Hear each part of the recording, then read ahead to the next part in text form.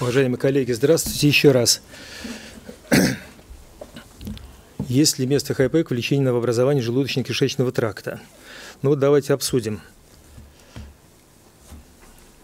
Э, я отдаю себе отчет, что основная аудитория – это клинические онкологи.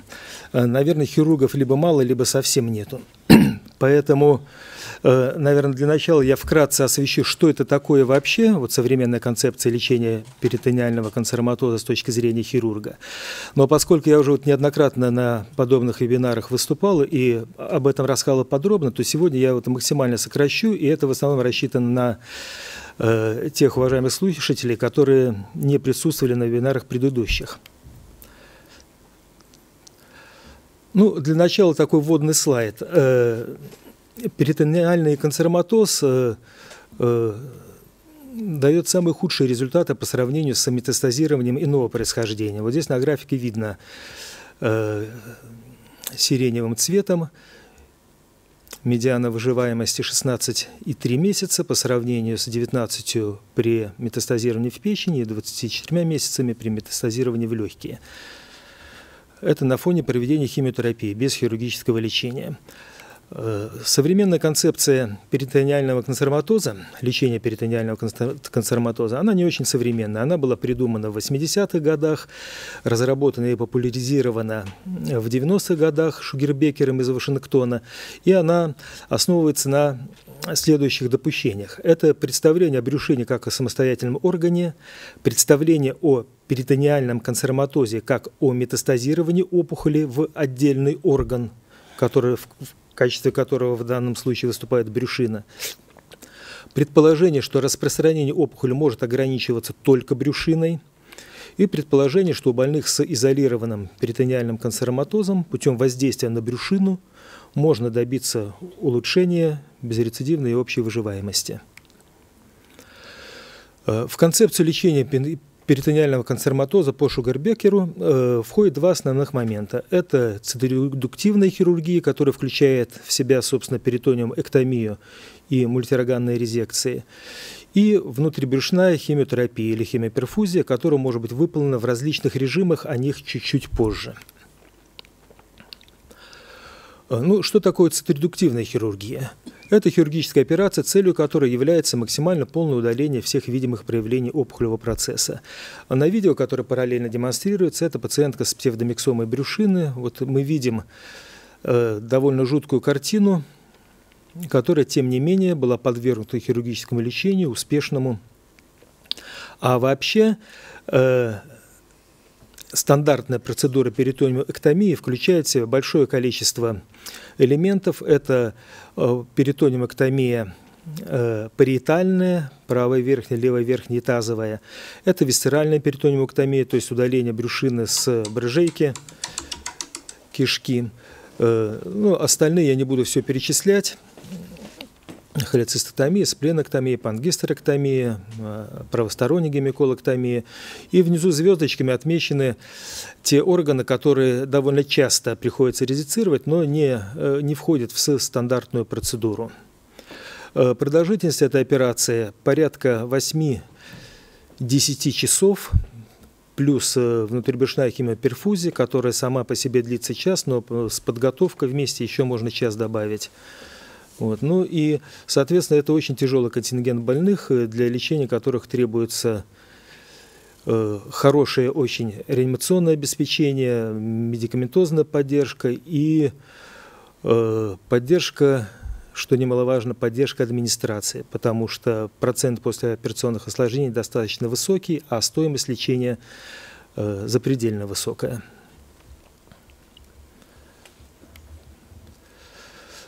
Ну и мы переходим постепенно уже к внутрибрюшной химиоперфузии или химиотерапии. С точки зрения клинического онколога, это метод доставки высоких доз химиопрепарата непосредственно к опухолевым клетке. Э, с точки зрения хирурга дело обстоит немножко иначе. Это комбинированный механико-физико-химический метод воздействия на оставшиеся после хирургического вмешательства очаги менее 3 мм и свободно лежащие в брюшной полости опухолевой клетки. Вот, соответственно, э, ну, мы выделили не менее 9 факторов, которые имеют значение и комбинируя которые мы можем получить самые различные режимы внутрибрюшной химиотерапии. Это температура, это состав несущего раствора, длительность воздействия, скорость перфузии, техника перфузии бывает различная, давление э, перфузионного раствора, которое позволяет увеличить проницаемость химиопрепарата в ткани – механическая фильтрация – это очищение вот свободной брюшной полости от свободно лежащих клеток. Ну и, собственно, химиотерапия – это дозировка, поскольку различные дозы для разных методов химиоперфузии используются. И, собственно, сам химиопрепарат, который тоже бывают разные, с большим или меньшим успехом применяются. Об этом мы тоже поговорим чуть позже. Варианты внутрибрюшной химиотерапии. Ну, на слуху это хайпек, это гипертермик интраперитониал хемотерапия. Э, то, что чаще всего выполняется. Но кроме этого существуют еще различные режимы.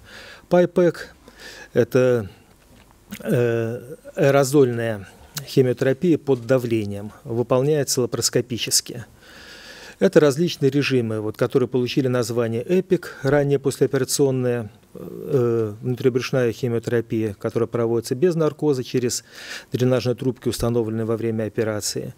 И два режима, которые получили название НИПС и БИСИК. Э, это варианты двунаправленной химиотерапии, когда одномоментно производится и внутрибрюшная химиотерапия в сочетании с системной химиотерапией. Ну вот на этом графике, который заключает э, мою вводную часть, э, представлены данные лечения при различных локализациях перитониального канцероматоза. Как мы, как мы видим, лучшие результаты получены при лечении псевдомиксомы. Это черный график. Дальше аппендикс, мезотелиома и самые худшие результаты демонстрируют лечение рака толстой кишки и рака желудка. Вот, собственно, на этих двух локализациях мы сейчас, переходя к следующей части моего доклада, мы остановимся. Это будет рак ободочной кишки и рак желудка. Итак, рак ободочной кишки. Что мы знаем на сегодняшний день? Э, с начала 2000-х годов проведена масса исследований. Вот наиболее известные из старых исследований – это голландское исследование 2003 года, в котором сравнивалась циторедуктивная хирургия э, с хайпек и последующей химиотерапией с химиотерапией и паллиативной хирургией. Продемонстрировано, что медиана выживаемости в группе с э, циторедуктивной хирургией хайпек составляет 22,3 месяца против 12 при паллиативной хирургии с химиотерапией. Э, следующее – это большой метаанализ. Но ну, мы его пропустим, это слайд хирургический, поэтому не будем сейчас рассматривать послеоперационную послеоперационное осложнение, летальность. Э, третье исследование довольно интересное, э, если не сказать забавное. Э, это итальянское исследование 2014 года, профилактическое хайпек для колоректального рака с высоким риском метастазирования, то есть опухоли Т4 и опухоли с перфорацией. Сравнивалась хирургическая операция с хайпек против хирургических операций без дополнения. И получены совершенно какие-то невероятные результаты. Но что интересно, э, хирургическая операция, группа больных с хирургической операцией просто э, выполнялась стандартная хирургическая операция, а в группе больных, которым выполнялась хирургическая операция с хайпек, хирургическая операция заключалась не только в удалении кишки, но и в удаление сальника, круглой связки печени, у женщин матки с яичниками. То есть э, эта операция носила такую э, профилактический циторедуктивный характер. То есть группы по объему хирургического вмешательства были несравнимы. Но, тем не менее, вот получены такие результаты. Э, безрецидивный период 36 месяцев против 21, а местные рецидивы и перитониальное метастазирование в группе с только хирургическое вмешательство 22%, а в той группе, которая выполнена обширное вмешательство с внутрибрюшной химиотерапией, 4%. Э, потихоньку мы переходим уже к современным исследованиям, э, которые вот э, недавно закончены. Это известное голландское исследование Колопек. В нем сравнивалась хирургическая операция с последующей химиотерапией против хирургической операции с хайпек и последующей химиотерапии у больных с высоким риском развития перитониального канцероматоза. Всем этим пациентам э, на 18 месяце после хирургии выполнялась диагностическая лапароскопия, э, и э, данные, которые получены, безрецидивный период в течение 18 месяцев 76 и 80%, то есть примерно одинаковые, позволили сделать исследователям следующий вывод. У пациентов с высоким риском развития канцероматоза адювантная внутрибрюшная химиоперфузия с оксалиплатином не увеличивает безрецидивный период. Следующее исследование, оно э, немножко похоже, но и немножко другое. То же самое, хирургия плюс химиотерапия против хирургии с химиотерапией, затем в течение трех месяцев после завершения химиотерапии second look э, с проведением внутрибрюшной химиоперфузии.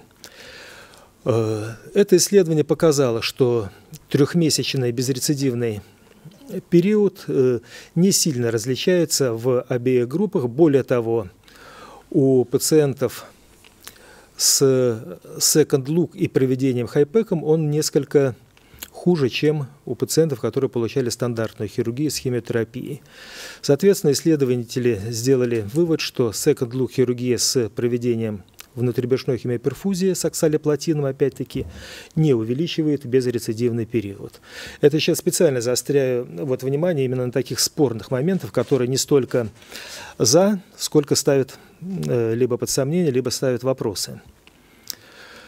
Э, исследование 2021 года – это не рандомизированное исследование, а ретроспективный метаанализ. Сравнивались э, две группы больных, хирургия с хайпек и хирургия с хайпек, э, больные получали переоперационную химиотерапию, либо до, либо после, либо и до, и после.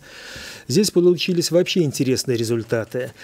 Э, те больные, которые получали хирургию с хайпек с переоперационной химиотерапией, все показатели были хуже, хуже, чем у пациентов, которые получали только циторедуктивную хирургию с хайпек.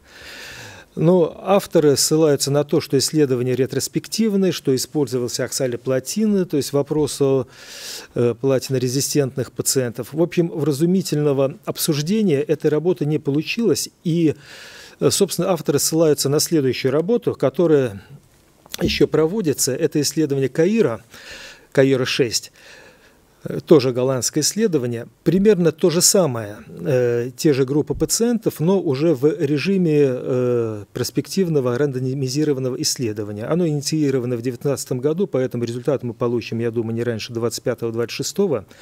Вот, и ждем. Все-таки хороша ли химиотерапия у больных с перитониальным канцероматозом или не очень хороша? Системная? Да, системная переоперационная химиотерапия – то есть ответа на этот вопрос пока что нету. Ну и, э, наконец, долгожданное исследование PRODGD-7, которое вот все заинтересованные специалисты давно ждали. Это французское исследование, результаты были опубликованы в январе 2021 года. Э, колоректальный рак с канцероматозом, э, полная циторедукция уровня CCR0 или CCR1 – Далее больные рандомизировались. В группу, одной группе проводилась хайпек, в другой группе не проводилась хайпек. Э, внутрибрюшная химиотерапия проводилась в следующем режиме. Оксалиплатин, длительность 30 минут, 42 градуса. Я специально разбил это исследование на два слайда, чтобы показать, что получилось.